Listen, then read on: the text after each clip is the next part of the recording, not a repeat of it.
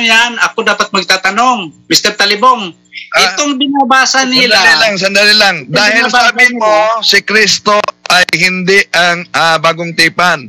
Saan mabasa sa talata na si Kristo ay hindi ang bagong tipan? o ito ang sinasabi dito, linaw. At gayon din naman, hinawa, Hindi. hinawa. Ah, ang tanong ko, saan mabasa sa Biblia na si Kristo ay hindi bagong tipan? Dito nga eh. Kayo lang Basahin mo naman bro. Saan? Basa, kayo lang- basahin mo bro. kayo Basahin mo. lang- Kayo lang nagsabi na si Kristo ay bagong tipan. Hahanapin ko yan sa inyo. ang- ang tanong ko, malinaw. Saan mabasa sa talata sa Biblia si Kristo hindi ang bagong tipan? Ako nagtatanong. Eh, Sinabi niyo huwag kasi, kang- huwag ah, kang programa, sabi niyo Oo. programa niyo. Brother Larry, Brother Larry, kinaklaro lang naman. Oh, sag- Sagutin mo. Eh, takot ka nga.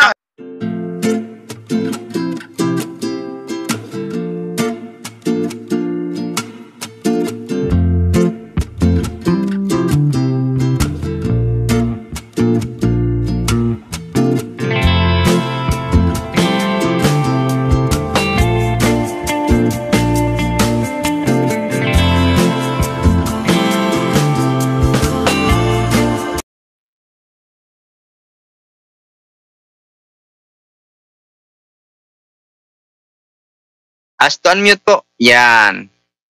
Good evening, Brother Larry. Hello, good evening. Mhm. Ano po yung ating katanungan? Ah, ano lang Brad, yung tatanong ko lang kung ano yung tinatawag na luma at bagong tipan? Okay, magandang katanungan. Ano yung tinatawag na luma at bagong tipan? Bagong tipan. Yes, Brother Tata Rosal. Ano daw yung tinatawag na luma at bagong tipan? Brother Ta? Okay. Ah, dito tayo kay Brother Angel. Brother Angel?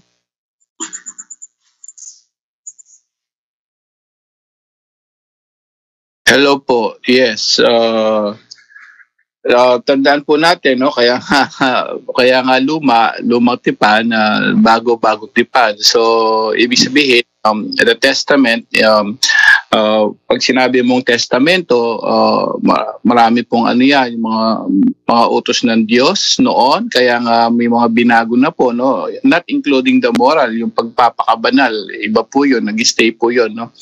So may mga bagong tipan na binigay from Old Testament kung maalala nyo. Una, ang mga tipan ang mga ang mga tipan noon kung, kung maalala mo no, ang pakikipagtipan mo sa Diyos, kailangan marami po 'yan eh. No? Kung yung sa uh, kung maalala nyo, paghandog pa lang sa kasalanan noon, maghahandog sila mga hayop, no? no? Tapos ibibisik yung dugo, pupunta sa pare, mag-aalay ka. So during that time, you know, mga example lang 'yan na kung gusto mo mapatawad sa kasalanan, maghandog ka, no? And then sa mga maliligtas naman, no, circumcise, nagpapatuli. And then pagdating, uh, mga sample lang po yun, marami pong tipan kasi yan, uh, kapatid. So pagdating kay Jesus naman, ayan, binago na po yan, kaya New Testament, no? Ito na yung mga bagong batas na ating Panginoon Jesus. Kaya nga sabi, sabi niya, no, isa-summarize na lang natin, noong, no, sabi niya, no, noon, very ano lang eh, oh, sabi niya, pagka, no, noon sinasabi ko, sabi ng ating Panginoong Jesus, no, uh, huwag kang mangangalunya, no? So pero pagdating sa kanya, ano sabi niya? Aba hindi ka lang tumitingin ka pa lang nangangalunya ka na. So in other words, dinagdagan niya ng mas mahigpit. Bakit? Kasi nagkatawan tao si Jesus during that time. And then um, yung tinatawag nating um, uh, exactly exact na tila, uh, nagsabi rin ng ating Panginoong Jesus dun sa mismong bagong tipan. Unang Korinto nga po chapter um, 11 bro si, si Jesus na at ang mga turo niya. Chapter 11 nga po, bro um, Romel. Verse? O, dito po tayo sa 23. Okay. Ito po yung ating Ang mababasa sa 24. unang Yes. Okay, unang Korinto 11:23. Ito. Ito ang katuruang tinanggap ko sa Panginoon at ibinigay ko naman sa inyo. Noong gabing siya'y ipinagkanulo, ang Panginoong Hesus ay dumampot ng tinapay. Nagpasalamat at nagpira-piraso yun, pinagpira-piraso iyon at sinabi, Ito ang aking katawan na inihahandog para sa inyo. Gawin ninyo ito bilang pag-alaala sa akin. 25 po. Ayan, kung ano ba yung sinabi niya yun. na ngayon, hanggang ngayon, ginagawa natin. Bagong tipan na po yan. Uh, tuloy 25. Matapos maghapunan, dumampot din siya ng kopa at sinabi, Ang kopang ito ay ang bagong tipan ng Diyos na pinagtibay ng aking dugo. Tuwing iinumin ito, gawin ninyo bilang pag-aalaala sa akin.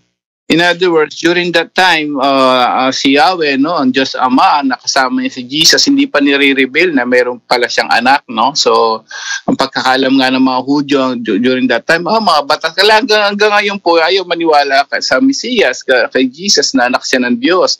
Kasi paniniwala nila, mga bagong yung lumang tipan lang. Kaya hanggang ngayon, bawal ang baboy, bawal ang ganito, nagpapat, uh, dapat magpatuli sila. Lahat po yun, mga ano pa, mga mga mga lumang tipan pa. So, malinaw po sinabi ni Jesus, no, siya na yung bagong tipan. Ito ang bagong tipan. Ako na yon. So, in other words, pag sinabing bagong tipan, yun na yung mga bagong utos na sa kanya na tayo maniwala. Kaya nga sabi niya, o ang daan, no, akong katotohanan, no, walang makakapagpunta sa ama ko di sa pamamagitan ko.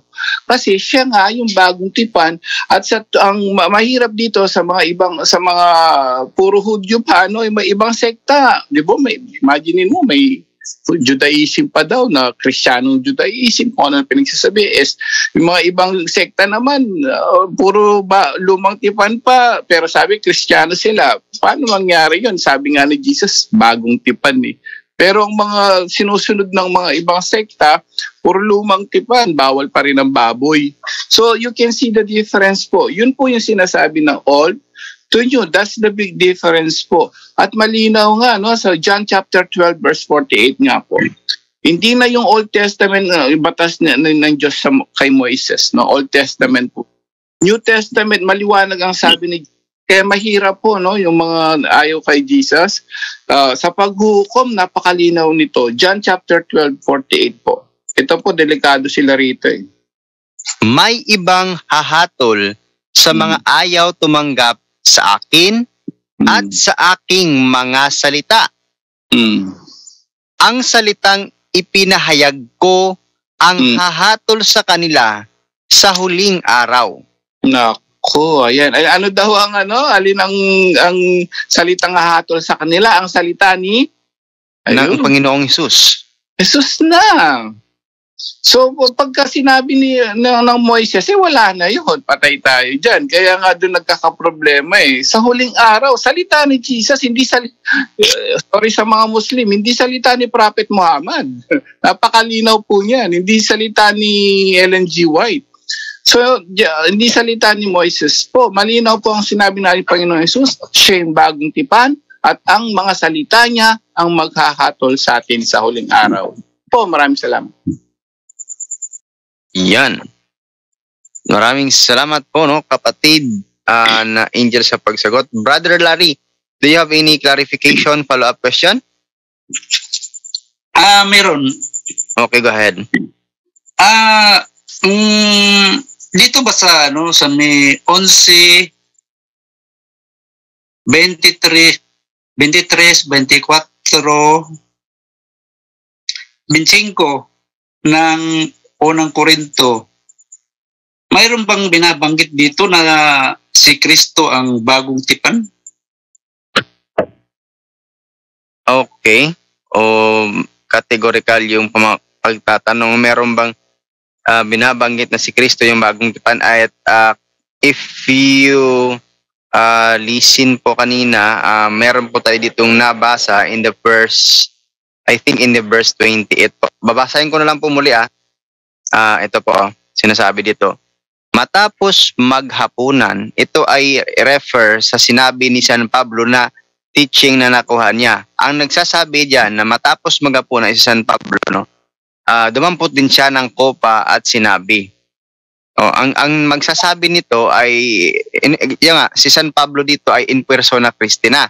Ang kopang ito ay ang bagong tipan ng Diyos. Yan ay word coming from the mouth of Jesus Christ that is according to to Saint Paul na kinote niya no in in 1 Corinthians chapter 11 verse 25. Kaya klaro po, si Kristo daw po eh ito, yung sinasabi. At saka Bro Romel, Mm, go ahead, kapatid. Ayun, dagdag na lang ako no. Um, ang when we say katipan kasi kapatid, pakikipagsundo yan ng Diyos.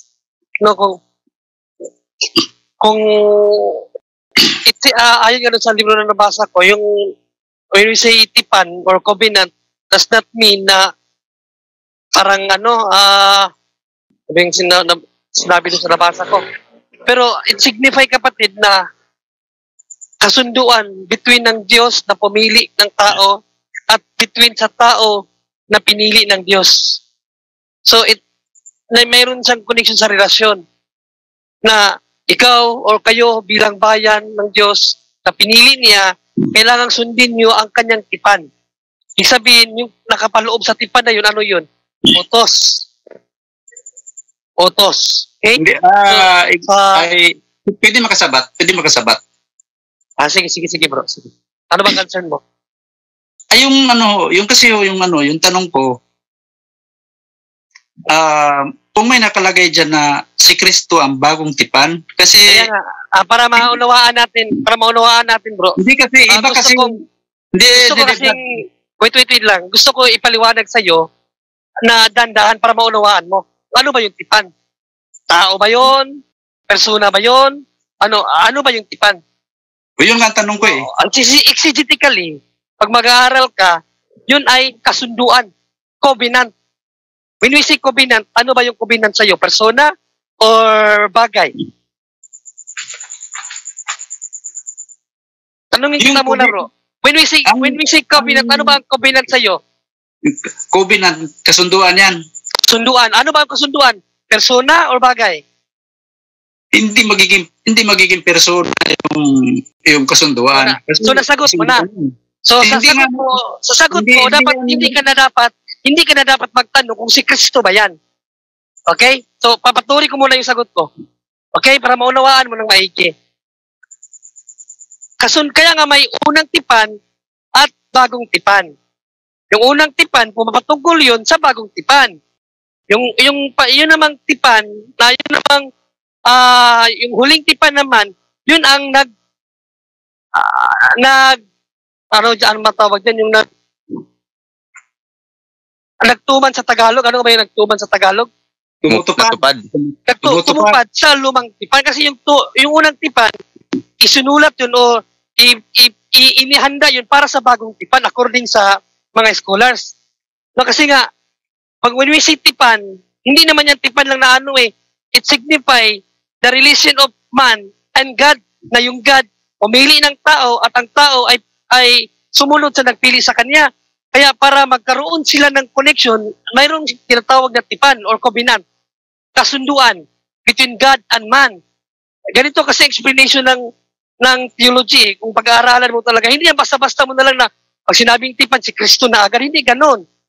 No, kung la- lalawakan natin ang pag-aaral. So, sa pag, pagdating sa inyo, may bagong tipan. Bakit? May bagong utos. Ano ba yung bagong utos? Lucas 22, 19, Bro Romel, pakibasa nga. Lucas Sa MBB, bro. 22.19. Sa MBB, oh. Okay, sa ah, magandang balita, Biblia, ito po yung ating mababasa. Dumampot din siya ng tinapay at matapos magpasalamat sa Diyos ay kanyang pinaghati-hati iyon at ibinigay sa kanila. Sabi niya, ito ang aking katawan na inihahandog para sa inyo. Patuloy, bro. Gawi, gawin ninyo ito bilang pag-alaala sa akin. Patuloy. Okay, patuloy natin. Gayon din naman, dinampot niya ang kopa pagkatapos maghapunan at sinabi, ang kopang ito ang bagong tipan ng Diyos na pinagtibay ng aking dugo. Ang aking dugo ay ang ay mabubuhos alang-alang sa inyo. Tanungin kita kapatid, sino nagsalita dyan? Si Kristo. Sino yung sinabi ng ito? Si Kristo yun o hindi?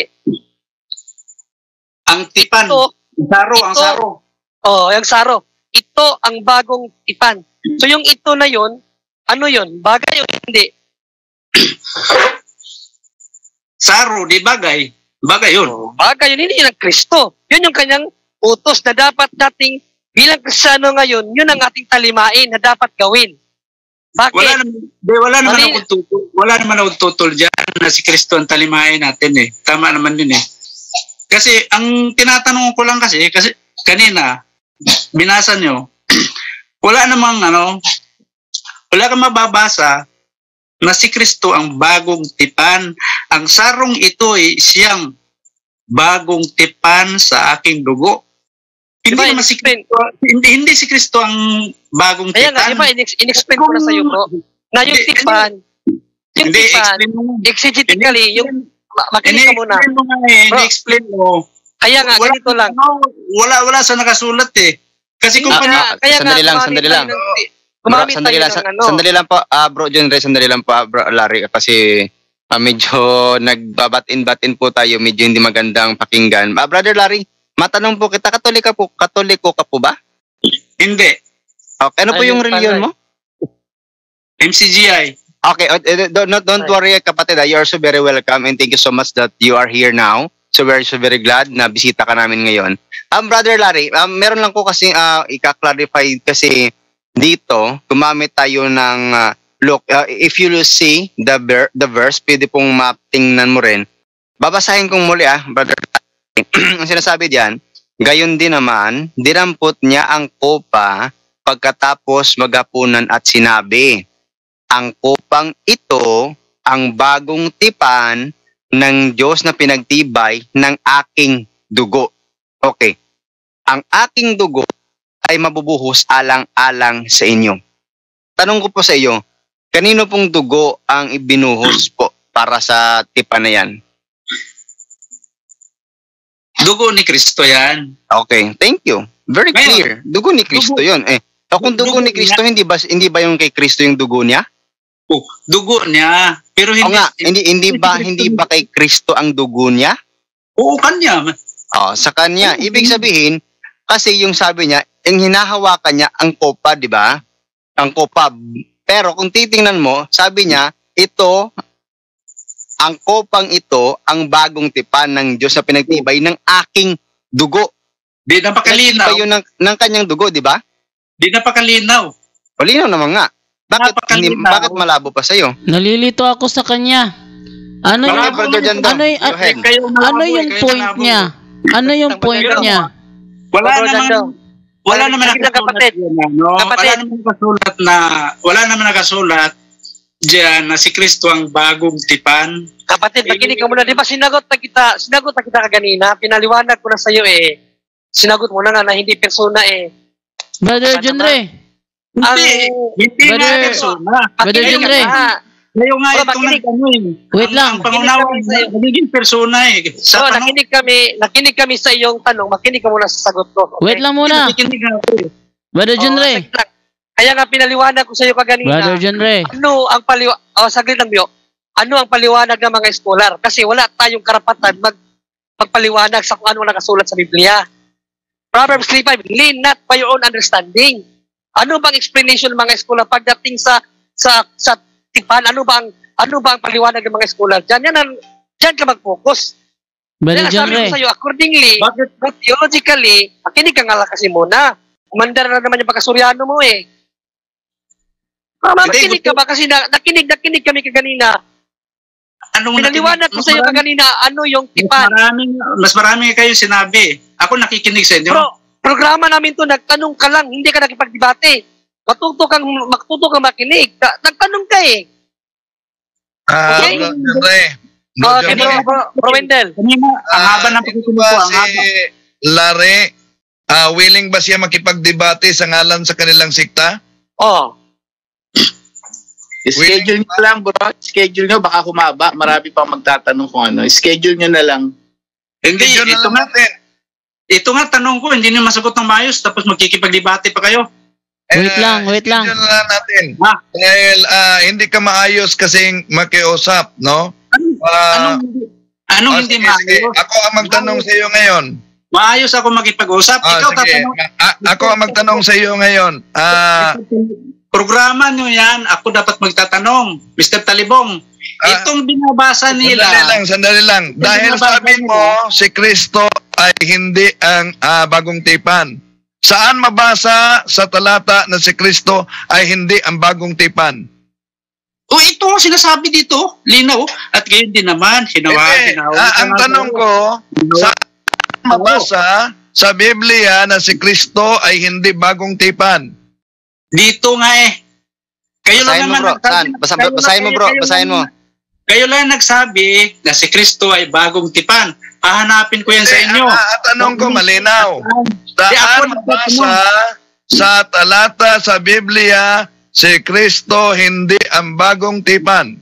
Ako nagtatanong. Eh, Sinabi niyo kasi, huwag Ah, kang huwag kang programa, sabi niyo Oo. programa niyo. Eh, Brother Larry, Brother Larry, kinaklaro lang naman. Sag- Sagutin mo. Eh, takot ka nga eh. Naririnig ba ako? Oh, Programa nga.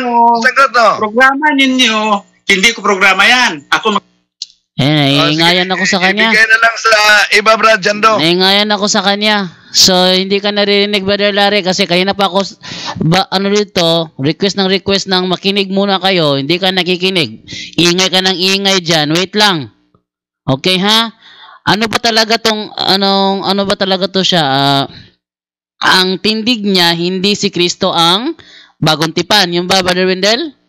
Oh, Yes. yes. ah, nagtanong siya at ah, sa kanyang ah, sa aking pakikinig, yung tanong niya parang nakipagdebate. Kaya nga ah, sabi niya programa ninyo ito. Eh di, kung pumasok ka sa ah, programang ito na gustong makipagdebate dahil dami pang magtanong, eh gawin na lang nating schedule. Okay, ganito Oh. yan, ganito yan, no? Kahit programa natin ito, Brother Larry, kahit programa namin ito, pwede ka namang tanungin for clarification. Gaya nung nangyari kay Soriano, nung tinanong siya ng ministro, kung hindi beso-beso ang banal na halik, ano yung, ano ang banal na halik? Sabi ni Soriano, bakit? Naninindigan ka ba talaga ang beso-beso banal na halik? Hindi ba nagtanong din siya sa ano, sa may mga pagkakataon na si Soriano mismo nung tatanong sa kanyang mga taga-tanong, kahit programa niya ang dating daan. Ang nangyari kasi bro dyan do, ang taong ito, eh, ah, nililito niya kasi yung tanong niya. Una, tinanong ano ba talaga niya, tanong? Ano ang kaibahan, ano ang kaibahan ng lumang tipan at bagong tipan? Oh. Sinagot siya ni Bro Angel. Nag, nagpaluap siya ng question. Ito bang tipan na to ay hindi si Kristo? So pinaluapan ko rin, exegetically, pag sinabi exegetically, i kung ano talaga yung yung yung ah nung time na sinabi yan, ano ba yung punto? No, kung pag-aaralan natin yung talagang uh, Bible, no, through, through sa mga scholar. O kaya pinaintindi ko na exegetically, pag sinabing tipan, hindi yan persona. Sumagot ka sa hindi yan persona. O tapos ba, ba't magsagot siya na si Kristo yun? Di ba sinabi si Kristo? Pero ang intention ni Kristo sinabi niya yung ang tipan, ang bagay na ito, ano ba yung bagay na ito? Di ba Wait yun lang. ni Kristo? Brother Junre, wait lang. Oh. Ano ba talaga paninindigan niya? Si Kristo ang bagong tipan o hindi si Kristo ang bagong Hindi. tipan? Parang dini-distort niya yung ating aral na yung katawan at yung ustiya natin na may laman at dugo ay Kristo yon. Yun ang nakuha ko sa kanya. Kaya gusto niyang kung sa baga i-distort niya or sirain niya yung paniniwala natin na yung body and blood of o yung Holy Eucharist natin ay si Kristo yon. Kaya doon siya nag-umpisa sa tanong na tipan. Since walang mababasa na yung tipan ay si Kristo, o doon siya humugot ng panlilito. O kaya nga, tinarify ko exegetically, ang ang kuan ang tawag ang tipan hindi yan persona kasi Wait. tipan nga eh. Brother Junre, di ko Oh. talaga magets. Ano ang, ang ang gusto niyang ang gusto niyang ipalitaw na yung yung kopa, yun ang bagong tipan at yung kopa Yung dugo ni Kristo, hindi si Kristo. Yun ba, to- yun ba point niya? Wala siyang gustong ipalitaw. Gusto lang niyang lituin ang mga nanonood. Kaya nga, ano eh, tricky. Nagtanong siya sa tipan. Tipan ang tanong nga, pero pagdating niya sa tipan, eh, dumirigta siya sa Kristo kung si Kristo ba yung tipan. So, ang ang tindig niya, si Kristo, hindi ang bagong tipan. Wala daw mababasa na si Kristo ang tipan. Ah, walang mababasa na si Kristo ang bagong tipan, sabi niya. Oo. Oo. In which, ang tanong niya is tipan lang, ano ba yung, ano ang diferensya ng Oh, lumang sige. tipan ng Brother Larry, Paki-unmute, Brother Larry. May kaklaruhin lang ako sa iyo. Brother, paki-unmute mo na, Brother Larry. Ah, si Kristo hindi ang bagong tipan. Yun ang tindig mo. So para sa iyo, ano ang bagong tipan? Babasahin ko ah. Hindi, an- ano bro? Sagutin mo muna bro. Ano ang bagong tipan para sa iyo? Yung kautusan niya. Ah, yun ang yun ang bagong tipan sa kanya, bro. Yung kautusan niya. Babasa lang Wala muna ako talata, bro. Wala, wala kayong mababasa na si Kristo ang bagong tipan kahit saan. Babasa muna ako, bro. Wait lang ha. Babasa muna ako talata. Ginagamit to ni Soriano eh. Ito sabi dito. Ngayon, ah ito sa ano tayo sa sa ang dating Biblia. Sabi ganito, sabihin ninyo sa akin, kayong nasisipagnasang mapasa ilalim ng kautusan. Hindi ba ganyan naririnig ang kautusan? Sapagkat nasusulat na si Abraham ay nagkaroon ng dalawang anak. Ang isa'y sa aliping babae at ang isa'y sa babaeng malaya. Gayunman, ang, ang anak sa alipin ay pinanganak ayon sa laman.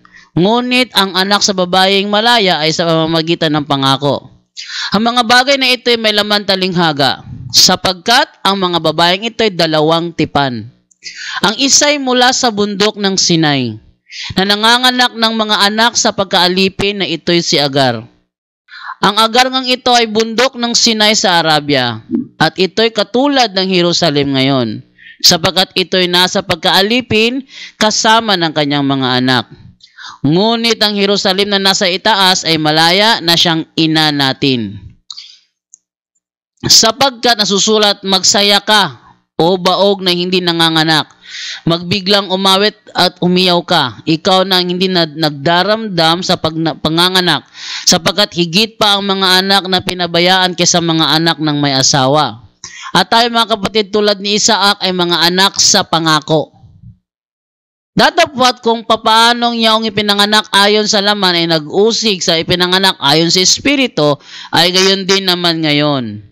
Gayon man, ano ang sinasabi ng kasulatan? Palayasin ang aliping babae at ang kanyang anak. Sapagkat hindi magmamana ang anak ng babaeng alipin na kasama ng babaeng malaya. Kaya mga mga kapatid, hindi tayo mga anak ng babaeng alipin, kundi ng babaeng malaya. Ayon dito, yung babaeng malaya, yun ang pangako na darating na galing sa langit. Hindi ba si Kristo yan? Wala naman akong tutol dyan kasi dalawang babae na binabanggit dyan. Ang, is- yan eh, talinghaga. Yun nga, Ang yung, babae, yung, yung bagong eh. tipan bro, yung bagong tipan dito na tinutukoy na bababang mula sa langit, yung pangako dito na bagong tipan na galing sa langit, hindi ba si Kristo to? Wala kang mababasa niyan na si Kristo bagong tipan. Eh sino yung sinasabi pangako dito bro na ano, na siyang ina natin? Sino to? Sino Sino, natin? tong Sinong bagong tipan na to? Na bababa Ay, mula sa langit? Sino ba yung ina natin? Hindi yung iglesia sa ig- iglesia na ina natin. Hindi, Yun hindi. yung Sino yung nasa langit? Sino Hindi yung si bagong tipan na ipinangako na siyang bagbababa mula sa langit? Sino yon? Yung bababa mula sa langit na bagong tipan na ipinangako, sino yon? Ang bagong tipan nga, yung, baba, yung dalawang babae na binabanggit dyan, babaeng malaya at babaeng alipin. Yung sinasabing babaeng alipin, yung Israel. Israel ngayon. Yung isang babae dyan, yun ang babaeng malaya. Yun ang iglesia na nasa ano nasa langit na ina ng mga Kristiyano. Ah, so itong itong iglesia na ito, ito yung bababa mula sa langit, ito yung ano, yung yung bagong tipan ng iglesia. hindi naman literal na ano na bababa yan na yung iglesia eh. nasa langit yan, nasa langit na. Ipinangako nga. Ang, ang ano dito, ang ang issue kasi dito, eh, ang linaw naman nakasulat sa 11.25 na ang sarong ito. Iba kasi yung sarong ito, iba yung dugo, nga, iba yung sinasabi ni Kristo. ko, ah. Iba yan. Ito yan bro, paliwanag ko bro. Ang babaeng tinutukoy dito, mga asawa ni Abraham, ginawang talinghaga, parang parang analogy ba? Ginawang analogy, Yun ko. par, ko naman yun. ginawang analogy, hindi ito literal na, eh, hindi ito babaeng iglesia. Hindi yan babaeng iglesia. Yung babae dito, mga asawa to ni Abraham na ginamit bilang analogy para ma- makilala ang pinagkaiba ng bagong tipan at ng lumang tipan. Ang lumang tipan, yun yung galang binigay doon sa bukid ng Sinai. Yung bagong tipan, yung bababa mula sa langit. Hindi babae yung kautusan sa bukid ng Sinai. Hindi iglesia yun. Ka- yun ay yun ay ah, ah, tipan. Yun ang tipan na binigay sa Sinai at yung ikalawang tipan naman, yung bagong tipan, bababa mula sa langit. Kung yung yung lumang tipan binigay doon sa Sinai at yung bagong tipan eh bababa mula sa langit, sino yung bagong tipan na bababa mula sa langit? Yun ang tanong.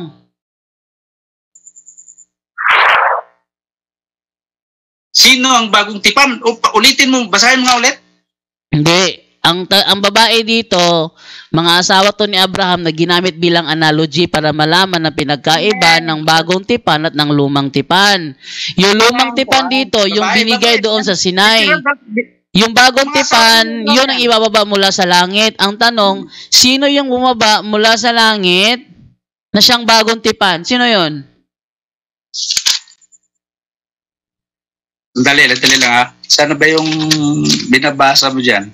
Galatia 4, 21 to 31. Galacia, Galacia. Ginamit to ni Soriano. Pinawala, ito'y pinaliwanag ni Soriano eh. Alala ko to, pinaliwanag to ni Soriano eh. Sige, ang, ang gagamitin ko ngayon sa iyo, ang ideya mismo ni Soriano, gagamitin ko sa iyo mismo. Tama yung tama yung paliwanag niya. Wala na Oo. tutol doon. Ah, sino ah, sino ang bumaba mula sa langit na siyang bagong tipan? Sino? Yung sinasabi mo kanina na Hindi. yung Sagot bro, Dalawa, sino yung bumabang mula sa langit? Dali lang. yung sinasabi mo kanina na mga asawa ni Abraham, tama yon.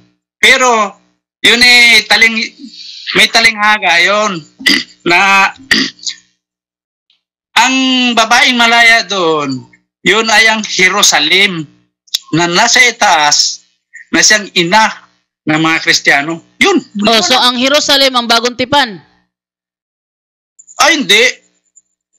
Hindi, hindi ba, sa ano yan, observation na lang yan. Hindi, kayong- dalawa to eh.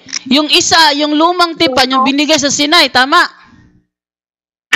Ito, didiretso ko ng basa. Ang Hindi. mga bagay na ito ay may labang talinghaga. Oh. Sapagkat ang mga babaeng ito ay dalawang tipan. Mm. Ngayon, ang ang isa'y mula sa bundok na Sinai o Oh. bundok Ano na 'yon? Sinai Ano yung tipan na 'yon? na, nanga- na nanganganak na mga anak na pagkalipin na ito ay si Agar. Ah, oh, oh, anong tipan 'yon, bro? Anong tipan yung bin- galing sa bukid ng Sinai? Anong tipan 'yon? Yun ang, yun ang luma. An ano nga tipan yung binigay sa Sinai? An, sos, tatanong mo pa kung anong tipan. Ano? Yun nga ang luma eh. Based sa paliwanag ni Eli Soriano, ano yung tipan na binigay sa Sinai? Yung, yung kasunduan sa Ano yun? sa- Ano- para ano sa kasunduan yun? Yun. Ano kasunduan 'yon? Ang agar ng ito ay bundok ng Sinai sa Arabia. Ano nga a- ano nga tipan 'yon? Katulad ng, katulad ng Jerusalem ngayon. Hindi, ah, Sapagkat, hindi bro. Ano yung tipan na 'yon, bro? Yung galing sa bukid ng Sinai, bro? Based sa paliwanag ni Eli Soriano, based sa paliwanag ni Eli Soriano, kung talagang MCGI ka, ano ang tipan na binigay doon sa Sinai?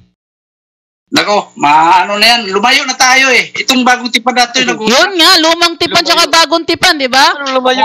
Ano yung lumang tipan? Lumayo? Bro John to, ganito, ganito yan. Oh. Kung sasakyan ko o pag, yung tatanggapin ko yung paliwanag ng dal- ninyo diyan, Hindi. yung lu, yung bagong kung bagong tipan sa bagong tipan, kung ang bagong tipan ay si Kristo, lumalabas na ang lumang tipan si Moises. Ano si Moises? Ganun ang ano eh. Ganun ang...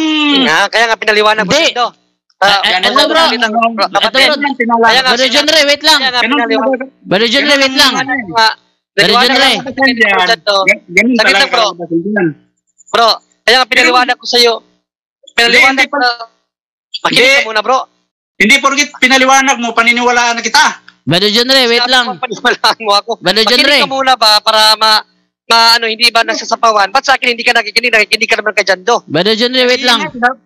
Pinakinggan Oh, mo kita kanina eh. Pinakinggan Ganito mo yan, kita oh. kanina eh. Brother Yan ang Larry. resulta, ang resulta kasi bro Jando, Agenda. ang resulta kapag kapag ah, kapag kapag ah papasukin natin yung kanang ang kanyang tanong na yung kung sa baga i-entertain natin yung kanyang paliwanag na yung yung yung tipan ay si Kristo lalabas talaga na yung ah, yung yung lumang tipan si Moises kaya nga pinaliwanag ko sa kanya exegetically ang ang tipan hindi yan persona Sinabi ko sa kanina eh, hindi yan persona.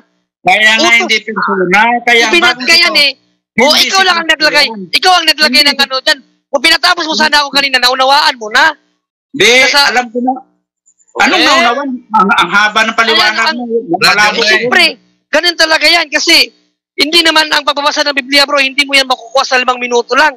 Gumamit nga ako ng, uh, ay bro Wendell, Ah, ito ah, dahil lagpas na to sa oras, ah bukas itong si Larry, mas mabuti na mapaka, mapasok to ng maaga, no? Alas 8. Oo. Ah, tama siya na sa ating programa ito, pero ah sa kanyang ah, paraan ng pagtatanong, parang makipag-debate kasi, no? So kung nagtanong ka, edi makinig ka dapat.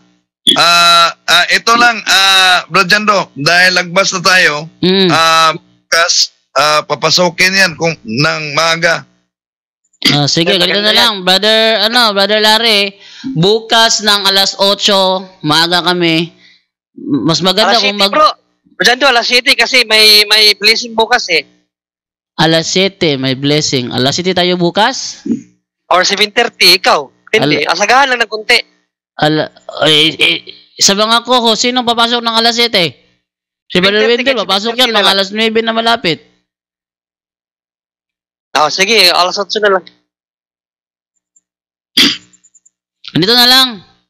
Bukas ng gabi, dahil mayroong sacramental blessing, siya lang muna paritin natin si Brother Larry.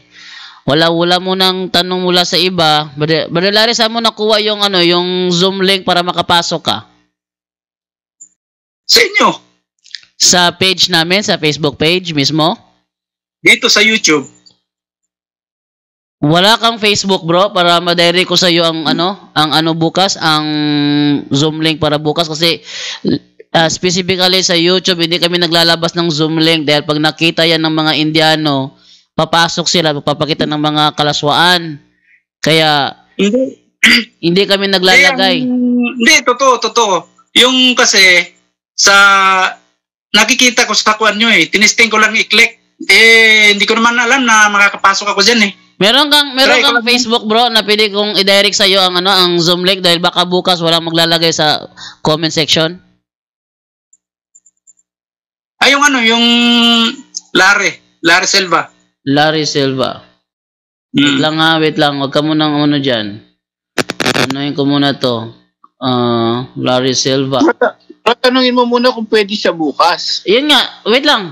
Larry Silva. Ano yung profile pic mo bro? May may maraming Larry Silva dito eh. Yung, yung may sasakyan? Bibira kung ginagamit kasi yan eh.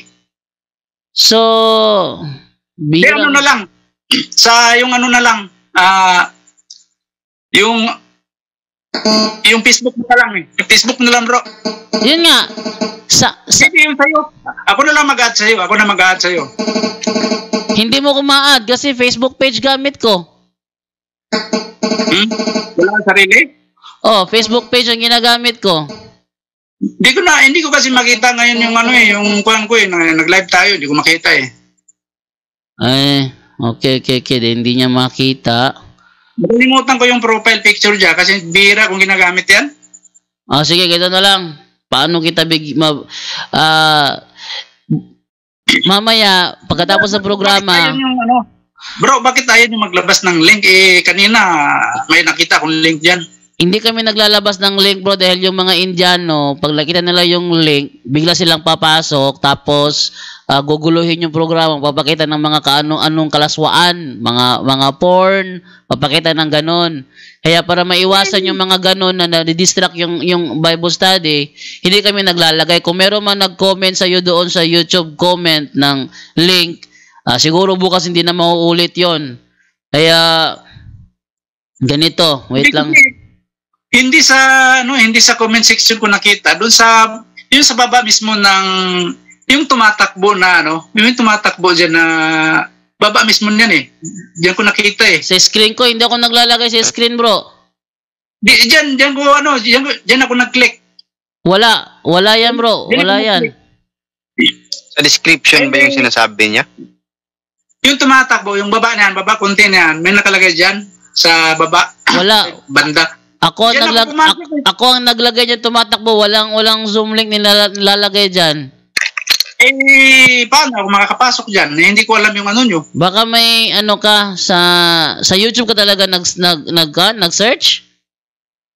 Di ba, di ba live to sa YouTube ngayon? Mm-mm. Oh, live sa YouTube. Oh. O, di- Dito nga ako eh. Kasi yung ano nga, yung, yung Facebook ko na Larry Silva, bihira kong gagamitin yun. Okay. Dito ko lang nakita. Hindi ko maalam na tinesting ko lang yun eh. Mm. Tinesting ko lang. Eh, Ah, ganito na lang, bro. Ganito na lang, bro. Mamaya, mag-message ka sa akin mamaya para alam ko kung saan kita sendan. Ito yung Facebook page ko. Tandaan mo. May mukha ko, tapos yung background ko, nakatalikod ako, dami nakikinig. Tapos yung profile ko, may, may nakalagay na straight to the point.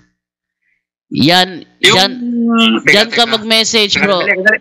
Dali lang, dali lang. O, sige, Diyan- sige, okay na.